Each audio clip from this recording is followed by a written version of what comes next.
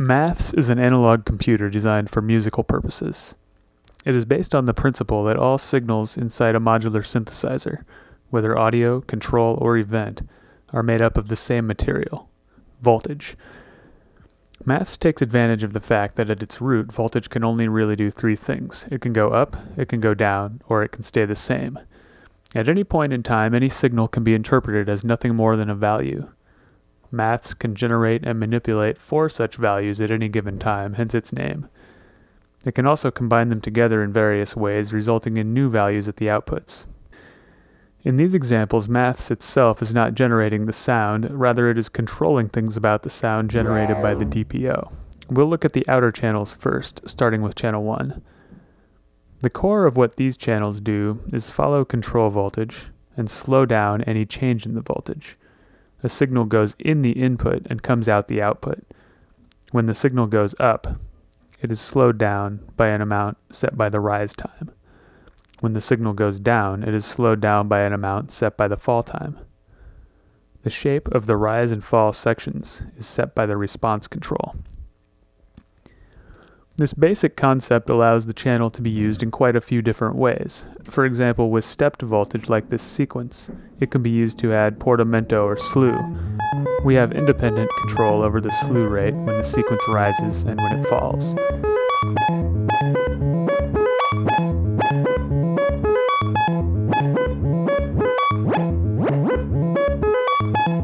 It is possible to make the slew rate slow enough that the sequence does not reach the new value before the next value comes in.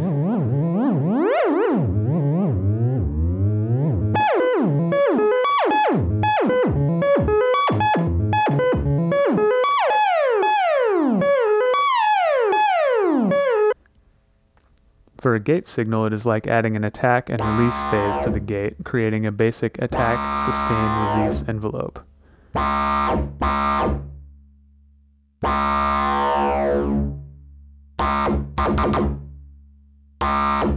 The channel also has a trigger input which causes it to immediately go from zero to full amplitude and back to zero, still according to the rise, fall, and response settings. Engaging the cycle button or sending a gate to the cycle input causes it to retrigger every time it goes back to zero, so it can act as an LFO.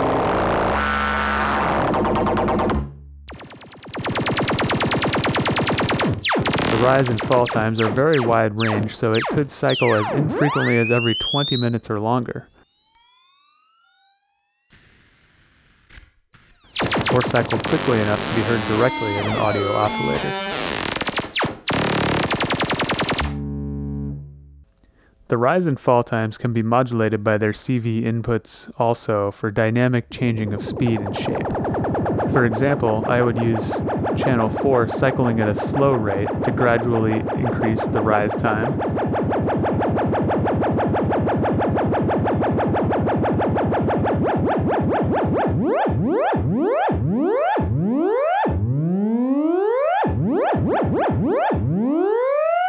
The fall time.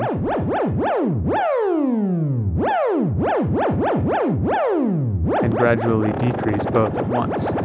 Note that adding voltage to the rise and fall inputs slows them down, while the both inputs speeds them up. The outer channels each have two outputs, one variable and one unity. The unity output is full amplitude for triggered functions and matches the amplitude of the input signal if the input is used. The variable output can be set to any amplitude you like and can also be inverted by turning the knob to the left of noon.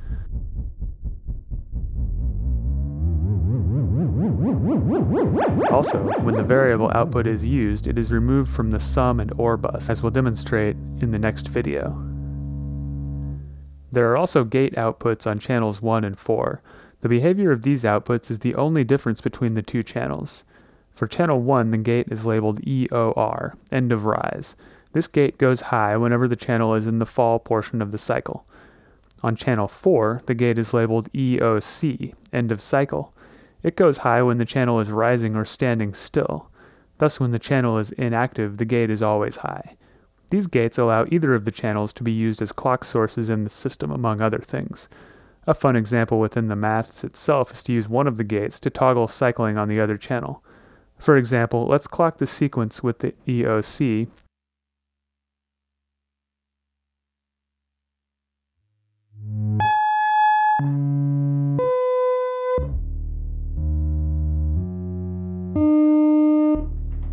and mult it to the cycle input of channel 1.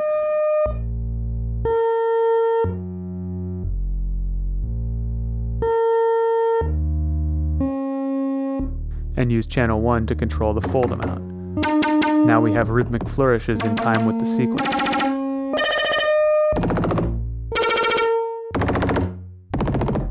In part 2, we will go over channels 2 and 3 and demonstrate how the four channels of maths can be blended in various ways using the sum, inverted, and OR outputs.